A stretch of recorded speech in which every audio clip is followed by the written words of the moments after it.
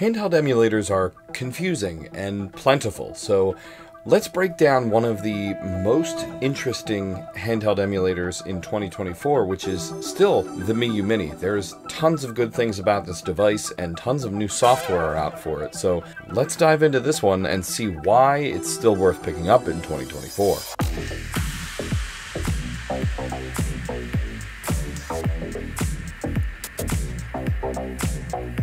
And before we dive into this tiny powerhouse, at the end of September, we're going to be giving a Powkiddy RGB20 SX away. All you have to do to win is be subscribed, and then we pick one. Back to the video. Since this thing's launch, it's been a fantastic little console, and it's only gotten better with time because now we have Surwish OS. It's basically kind of Onion OS.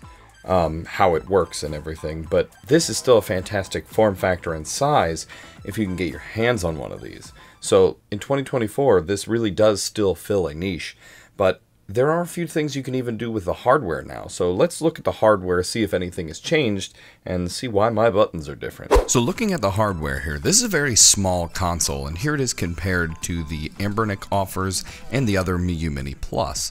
So this console we're looking at here today has been out for a while, and it features a 2.8 inch IPS screen with a 750 by 560 resolution, which is pretty high, so games look very sharp, a 2000 milliamp hour battery, a D-pad that is squishy and not clicky, ABXY buttons that are also squishy and not clicky, which we've changed out for the new buttons that we have here, and I'll explain that in a little bit. Start and select buttons that are clicky and not squishy, in addition to a menu button right under the screen in the center that is clicky and not squishy. On the right hand side of the device, we have nothing. On the left hand side of the device, we have a volume pot, which when scrolled up and down changes the volume. On the bottom of the device, we have a headphone jack, an SD card reader, and a USB-C port. On the top of the device, we have a power button that is clicky and not squishy, in addition to three LED lights that are indicators. On the back, we have a battery compartment that opens, which is fantastic in case we need to replace the battery. And on the back, we have very tiny trigger buttons, but they were able to fit in an R1, R2, L2, and L1, which are just barely clicky, but not squishy. This is a very well put together device, and they are on the revision 4 of it, and it shows. Now let me tell you where I found these fancy buttons.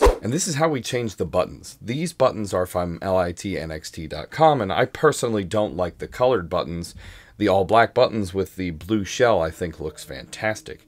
I know they're reminiscent of other game consoles, but I think this looks much better to me. And if you want any other colors, just feel free to go to litnxt.com, who sent this over to me to review the new software, and uh, see if you want buttons made of your own. I think these are very nice. And talking a little more about that software, let's go into that now and see what the big difference in all the software is and how it works now because it's very similar to all the handhelds coming out now, but in a tiny package. And this is the fourth iteration of the Miyoo Mini. The one I have here from litnxt.com is running Onion OS and it's really fixed a lot of the problems that this had in the past. The power on, power off button works perfectly. If you put it to sleep and it stays there for a while, it'll actually put the console into low power mode or turn it off and you can change all of those options in the settings, which is really nice to save power if you, in case you put it in your pocket and leave it on. The menu button now is a game switcher between all of the games that you've been recently playing. You can hop right back into there,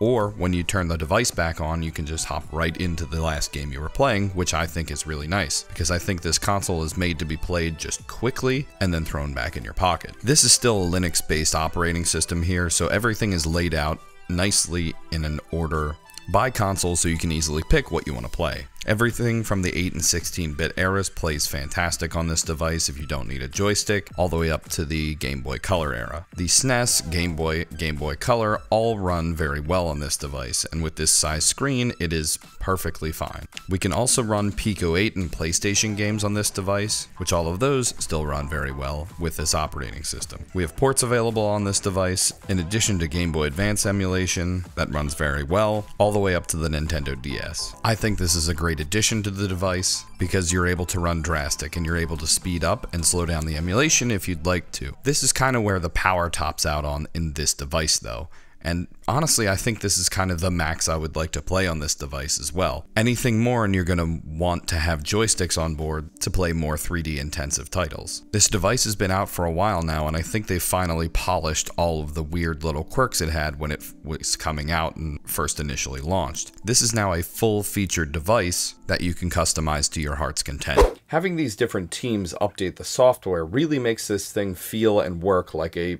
proper first party handheld, something that you'd pick up from like Nintendo and just click, go into playing, and then be able to click it, put it back in your pocket, and have no issues with.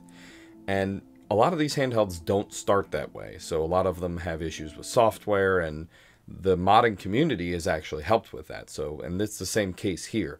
So if you're interested in picking up this software with this device, the sponsor down in the comment section below is where to grab it. But I did mention that there are a ton of these different handhelds out and I mean, this market since the Miyoo Mini has come out has gotten very crowded. So there's a bunch of different things that go into this hardware and software category now, and you even have things from Miyoo themselves, the Miyoo Mini Plus, like this, and the Anbernic lineup, which has a million different options in it, and even stuff from Powkiddy now that fill this little niche. I think this meets that portability size, but if you're looking for something a little bit larger, there are tons of other options. If you haven't seen it yet, check out our roundup for all of the vertical handhelds for this year. I think there's a bunch of good ones in there, and funny enough, this one didn't even make it for me, personally. I think it's a size issue for me because I got big hands, I can palm a basketball, but for me, if this is something that you're just throwing in your bag or even using it as like a Tamagotchi keychain, this does really get a lot done. So if you're looking for something else in this category, maybe take a look at this video, or if you're looking in something else in this category, take a look at this video. All of them are handheld emulators, and we do a ton of this stuff on this channel. So subscribe if you'd like to be considered for the giveaway, and I will see you next time, because there's always more hardware to review. That's all I got. Davey out.